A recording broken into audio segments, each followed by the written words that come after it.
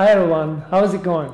If you're serious in photography or videography, you know that one of the most important keys to stand out from the crowd is to be creative and innovative and to try different things. Recently, I came across with a wildlife documentary on BBC.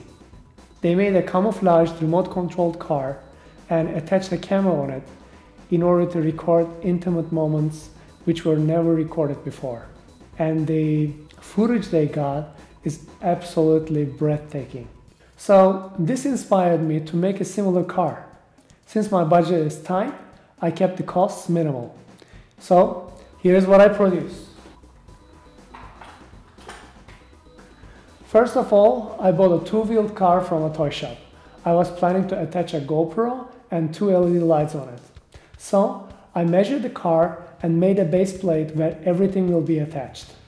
I used a very soft plastic, actually a thin bread cutter, as a model. I cut it with a sharp knife. To be exact with the measurements, I inserted long bamboo sticks on the attachment parts.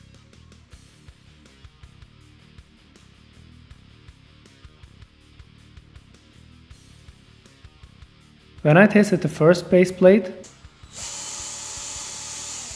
I was ready for the heavy duty version with exact measurements as needed.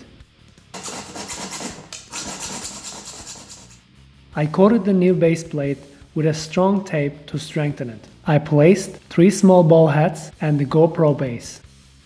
Two ball heads are for the precise arrangement of the lights. The third one is optional for parking a DSLR if I want to. Here's the result look. I use two dimmable LED lights as fill light and each of them has 160 LEDs. You can easily attach a DSLR and two speed lights if you want to.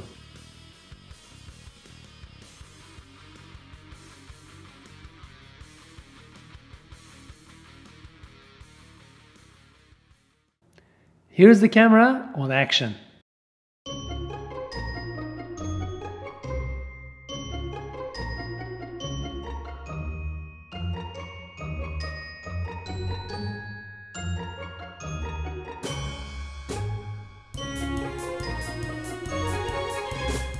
Well, birds are much more shy. When you are too close for their taste,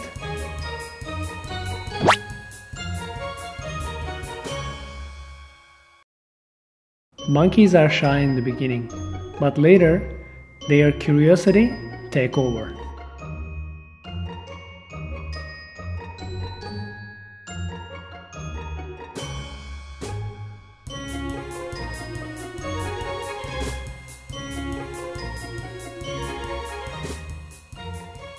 So, these are just quick test shots to give you a hint about what can be achieved. I hope this video inspires you.